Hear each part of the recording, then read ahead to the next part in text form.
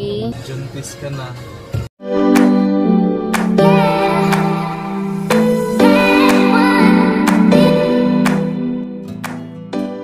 Hello people! Kumusta kayo? Kagagaling lang namin ni Josh sa aming dating school kasi nga uh, na-invite kami ng aming mga dati naming mga um, teachers na mag-judge sa kanilang event ngayon which is yung Mercado.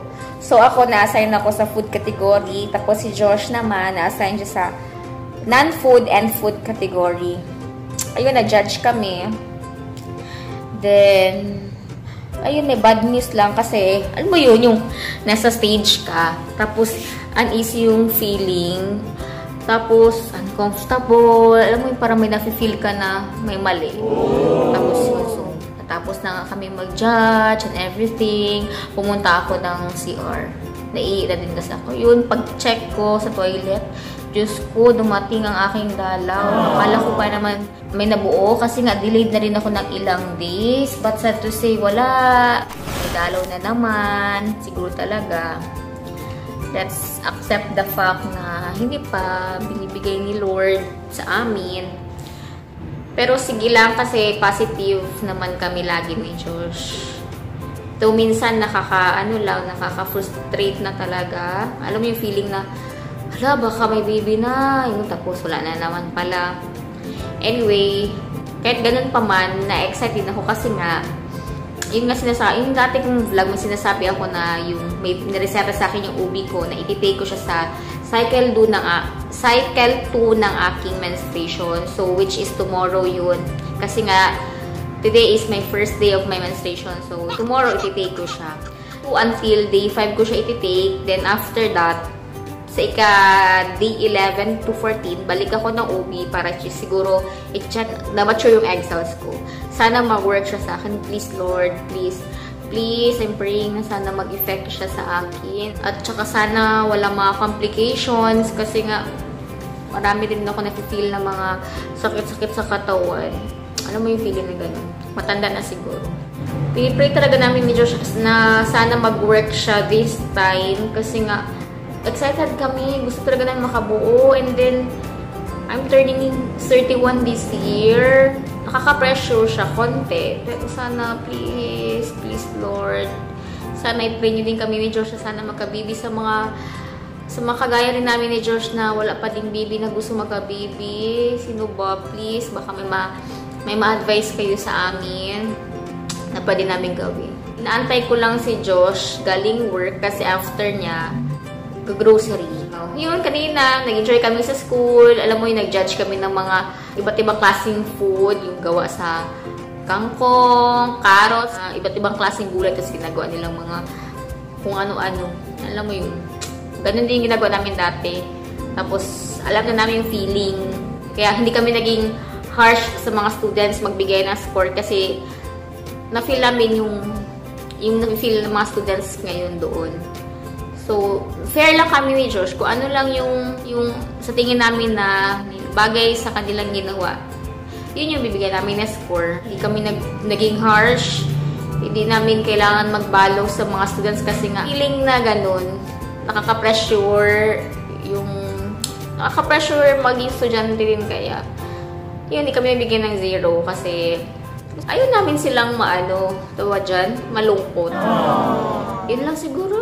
Tapos, uh, update tayo tomorrow. Then, ayun lang. Bye-bye. See you tomorrow. Morning. So, today, ha? So, today, we're going to... Saan tayo punta, be? We're going to Glamang. Close muna kami ngayon kasi sabay ako kay Josh kasi yung helper namin wala. Tapos after Glamang, bili kami nung aming yung aking gamot. Before that, kain muna kayo. Or Glamang muna, tapos kain. Glamang muna daw kami. Sama ako sa work ni Josh. Yan, papunta na kaming Glamang. Traffic ba? Hindi naman. Hindi naman.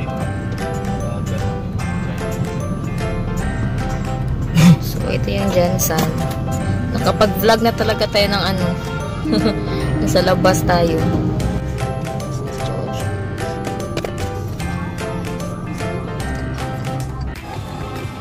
Pakrudo muna kami. Tapos, alis ulit. Yan sa ate girl.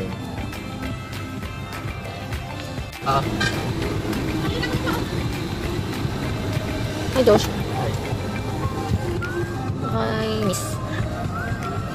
It's my second day of my menstruation. Bili kami ng Letrozole. Tapos, i-take ko mayang 9 p.m. Yan yung reseta nito.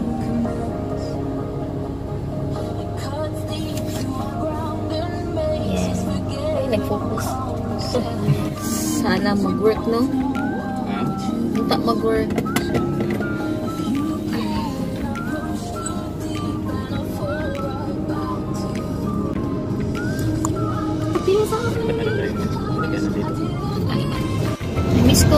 Ko sumabay kay Josh sa work. Kasi dati, alala namin, medlep kami, lagi kami nasa biyahe. Tapos, everyday talaga yan, biyahe kami ng biyahe sa malalayo. Tapos ngayon, Yan ba? Isa na lang yung malalayo. minsan na lang yung malalayo. After sa Glama, pumunta kami ng sa bahay ni Daddy, yung parents ni Josh. Tapos nakalibre kami ng kain, ng lunch, tapos chika-chika. tapos ngayon, pupunta kami sementeryo, dalawin din namin si Papa. Kasi ano niya kahapon, second death anniversary. Ayun.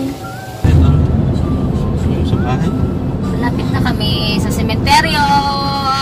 Hello, Papa! Bakit kagulat? Saan? Ito nagsasalita eh. Nakalimutan ko dalhin yung ano, yung ano yan? Selfie stick. Kaya medyo ga, ga kurog-kurog. Anong Tagalog ng kurog-kurog? Ano yung pagalaw-galaw. Magalaw-galaw siya. Ah, dito na kami sa sementeryo. Musahin namin si Papa. Di ba? Bakit? Mainit ba dyan sa ano? Mainit ang buga dyan?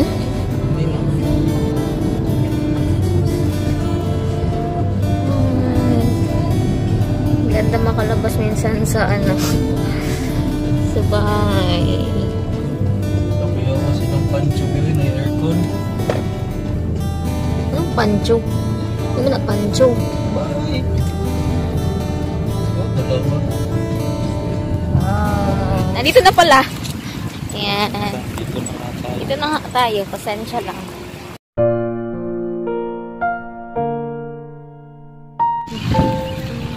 Pabalik na kami. Punta kami ng Pulumulok after ito. Ay, yun, si Josh na yung pinababa ko para bumili ng gamot. Ah, nung kami bumili ng gamot sa aming ubi kasi wala sa mga pharmacy. Ewan ko kung bakit wala. Nandun siya ngayon. Yan si Josh sa loob. Ay, may buntit. Hehe. Ang tagal lumabas ni Josh. Siguro busy pa yung secretary ni Doc. Marami pa siyang ini-entertain. Pero, parang palabas na si Josh. Nakikita ko siya sa, ano, nakikita ko siya sa loob. Ha, ayun na si Josh. Gusto naman. Ano, okay na? Oh. I-remember ba, follicle, magpa-follicle tayo sa 22? Next week. Ano yung follicle? Patingnan yung eggs mo. Kung lumaki. Okay. Juntis ka na.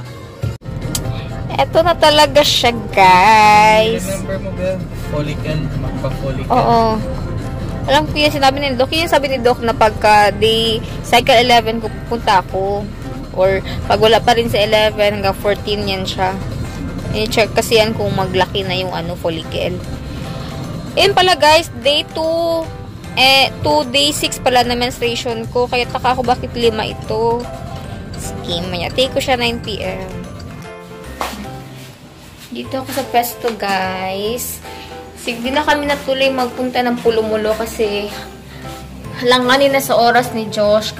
May puntahan pa kasi mas importante. Siguro bukas na lang kami pupunta ng Pulumulok tapos dala na rin dalaw sa lola ni Josh. Ayun. Alam nyo, excited na akong ano, mag-take nung letrozole. Alam ko naman na ano, 50-50 pa yung chances. Pero, yun, alam mo kasi positive kami ni Josh na makabuo pa rin kami kahit medyo mahirap. Pero, basta, mamaya ititake ko siya may 9pm. Tapos, update ako kung ano yung nafe-feel ko, yung pag-take ko nun. Excited.